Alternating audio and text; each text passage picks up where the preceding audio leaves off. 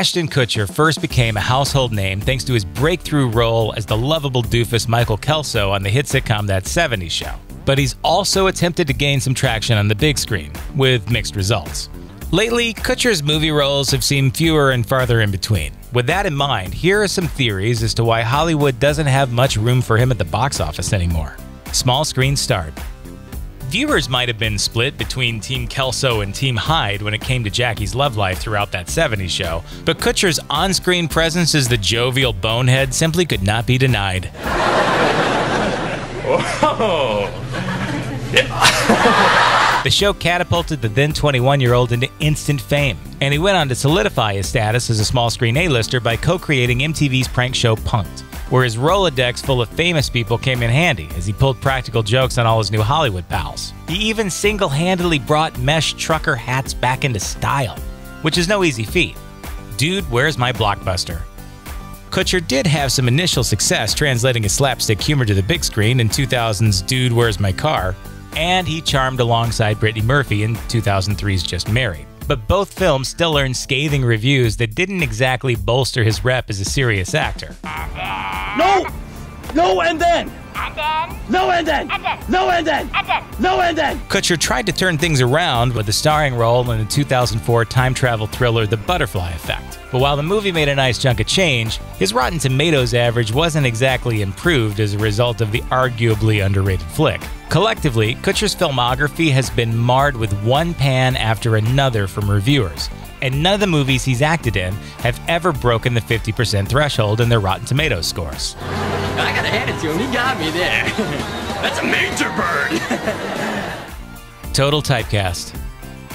Some of Kutcher's biggest commercial successes on the silver screen have remained in the comedic realm, including his 2008 rom com with Cameron Diaz, What Happens in Vegas, his part in Garry Marshall's 2010 ensemble dramedy Valentine's Day, and his Friends with Benefits film with Natalie Portman, 2011's No Strings Attached. In each of those movies, Kutcher's quirky demeanor helped his character stick, and although none of them were as dim witted as Michael Kelso or his dude persona Jesse Montgomery III, they also weren't exactly Mensa material. Put simply, his fans seem to prefer when Kutcher sticks to the most basic levels of intelligence on screen. His lead role in 2013's Jobs, a much hyped Steve Jobs biopic, failed to resonate with audiences or critics as well, proving that without the laughs, no one's really interested.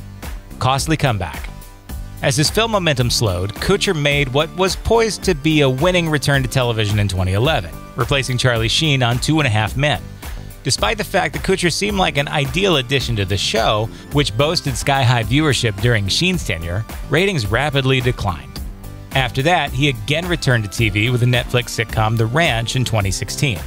On paper, The Ranch had all the right ingredients for small screen success, up to and including his old screen partner from that 70s show, Danny Masterson, and a roundtable cameo from fellow former castmate Wilmer Valderrama.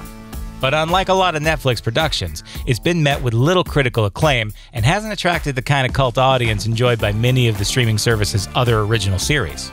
FFBF. Another hindrance to Kutcher's film career is, ironically, his off screen success. He moonlights as a tech developer and investor, which has become a serious second work life for him. And he basically helped put Twitter on the map by engaging in a popularity contest on the platform with national news station CNN in 2009. Plus, let's face it, he tends to make more headlines for his personal life than his on screen accomplishments. Kutcher and his first wife, Demi Moore, were regular characters on the red carpet and used their social network platforms to document virtually every detail of their marriage. And he and his second wife, Mila Kunis, continue to attract off camera attention. We're making people. We're just making people. Yeah. Even as audiences avoid Kutcher's films, a lot of people still take the time to speculate on what the couple will name their children. Not that he doesn't give them plenty of reasons to play along. I, I, there was a rallying cry from a collective that believed in the name Hawkeye. Hawkeye. I'm an Iowan, Yeah, right? yeah. Have Hawkeye. a kid named Hawkeye. Hawkeye. And it's like MASH. Like he could be a doctor. Maybe the two should go ahead and just make that fake Moonquake Lake movie from Annie with Rihanna after all to turn things around for him. What if when you go to the moon, there's an asteroid or something? Then I will die. But I will catch you. I know you. It's time. Thanks for watching. Click the looper icon to subscribe to our YouTube channel. Plus, check out all this cool stuff we know you'll love too.